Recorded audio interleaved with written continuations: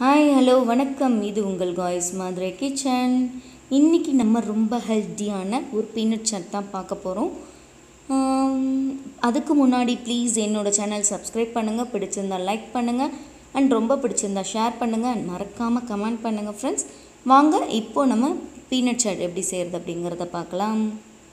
Okay ஒரு cup peanut எடுத்து வச்சுருக்கேன். உப்பு போட்டு வேக வச்சு எடுத்து வச்சுருக்கேன். குலையாமல் வேக வச்சு எடுத்து வச்சுக்கோங்க ஃப்ரெண்ட்ஸ் அடுத்து பொடி பொடியாக நறுக்கி வச்சுருக்கேன் கேரட் எடுத்து வச்சுக்கோங்க. அப்புறம் பொடி பொடியாக நறுக்கி வச்சுருக்க பெரிய வெங்காயம். நல்லா பொடி பொடியாக கட் பண்ணிக்கோங்க ஃப்ரெண்ட்ஸ் பெருசு பெருசாக இருந்தால் குழந்தைங்க வந்து சாப்பிட சாப்பிட மாட்டாங்க எடுத்து வச்சுடுவாங்க என்னோடய பசங்க அப்படி தான் ஓகே அடுத்து வந்து பெங்களூர் தக்காளி. ஒரு ஆஃப் தக்காளி வந்து சீடை நீக்கி கட் பண்ணி வச்சுருக்கேன். அப்புறம் சில்லி பவுடர் ஜீரகத்தூள். உங்கள் காரத்துக்கு ஏற்ற அளவு நீங்கள் சேர்த்துக்கலாம். அப்புறம் வந்து கொத்தமல்லி வந்து நல்லா பொடி பொடியாக நான் கட் பண்ணி எடுத்து வச்சுருக்கேன் ஃப்ரெண்ட்ஸ் அப்புறம் வந்து ஓமப்படி இல்லை மிச்சர் எதுனாலும் ஓகே இன்றைக்கி எங்கிட்ட ஓமப்படி தான் இருக்குது sorry I mean sorry sorry sorry mixture தான் இருக்குது அதனால் மிச்சர் எடுத்து வச்சுருக்கேன். அப்புறம் அரைமுடி எலுமிச்சம்பழம். இதில் நான் கொஞ்சம் தான் ஃப்ரெண்ட்ஸ் பிரிஞ்சு விடுவேன். ஹரிமா சாட் மசாலா எடுத்து வச்சுருக்கேன். நீங்கள் என்ன பிராண்ட் வேணாலும் நீங்கள் யூஸ் பண்ணிக்கலாம். அது உங்களுடைய விருப்பம். அப்புறம் இந்த இந்த பாக்ஸுக்கு பின்னாடி பார்த்தீங்கன்னா ஒரு ரெசிபி கொடுத்துருக்காங்க. நான் வீடியோவில் போடணும் அப்படின்றக்காகவே நான் வந்து ட்ரை பண்ணேன். என் பசங்களுக்கு கொடுத்தேன். அவங்களுக்கு ரொம்ப பிடிச்சிருந்துச்சு. அவங்களுக்கு பன்னீர்னாலே ரொம்ப பிடிக்கும். இதில் வந்து சாட் மசாலா இந்த மாதிரி ஆட் பண்ணி கொடுக்கும் உங்களுக்கு ரொம்ப பிடிச்சிருந்துச்சி. ஓகே இந்த பாக்ஸ் சைடில் பார்த்தீங்கன்னா இன்க்ரீடியன்ஸில் பார்த்தீங்கன்னா உங்களுக்கு வந்து என்னென்ன இன்க்ரீடியன்ஸ் ஆட் பண்ணியிருக்காங்கன்ற போட்டுக்கு அதில் பிளாக் சால்ட் ஆட் பண்ணியிருக்காங்க. ஸோ நம்ம பீனட்டில் வேறு சால்ட் ஆட் பண்ணியிருக்கோம். அதனால் நீங்கள் வந்து நான் சால்ட் வந்து நீங்கள் பார்த்து போட்டுக்கோங்க. ஏன்னா நம்ம சாட் மசாலா வேறு ஆட் பண்ணுவோம். அதில் வேறு சால்ட் இருக்கு இல்லையா? அதனால் நீங்கள் வந்து பார்த்து போட்டுக்கோங்க. ஓகே இப்போ ஒரு கப் வேக வச்ச பீனட் போட்டிருக்கேன். அடுத்து கேரட் போடுறேன். அப்புறம் தக்காளி.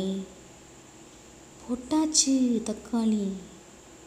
ஓகே அடுத்து பொடி பொடியாக நறுக்கி வச்சுருக்க பெரிய வெங்காயம். கொஞ்சமாக நம்ம ஸ்டாப் பண்ணி வச்சுக்கலாம். நம்ம லாஸ்ட்டாக கார்னிஷ் பண்ணுறதுக்கு தேவைப்படும் இல்லையா? ஓகே நான் கொஞ்சமாக ஸ்டாப் பண்ணி வச்சுருக்கேன். அடுத்து சில்லி பவுடர் உங்கள் காரத்துக்கு ஏற்றளவு மிளகாய்த்தூள் ஜீரகத்தூள் ஆட் பண்ணிக்கோங்க. அடுத்ததாக கொத்தமல்லி. அடுத்ததாக எலுமிச்சம்பழம். எலுமிச்சம்பழத்தில் நான் இதில் வந்து நான் கொஞ்சம் தான் ஃப்ரெண்ட்ஸ் பிழிஞ்சு விடுவேன். ரொம்ப பிழிஞ்சு விட வேணாம். இல்லை உங்களுக்கு புளிப்பு ரொம்ப புளிப்பு சுவை ரொம்ப பிடிக்கும் அப்படின்னா நீங்கள் பிழிஞ்சு விட்டுக்கலாம் ஒன்றும் பிரச்சனை இல்லை. இது வந்து ஒன் டீஸ்பூன் தெரியுதா ஃப்ரெண்ட்ஸ் காமிக்கிறேன். ஒன் டீஸ்பூன் வந்து சாட் மசாலா எடுத்துக்கணும். அதில் கொஞ்சம் கம்மியாக ரொம்ப கம்மி பண்ண வேண்டாம். ரொம்ப கொஞ்சம் கம்மியாக நீங்கள் கம்மி பண்ணி போட்டுக்கலாம். இது எல்லாத்தையும் நல்லா மிக்ஸ் பண்ணுங்கள்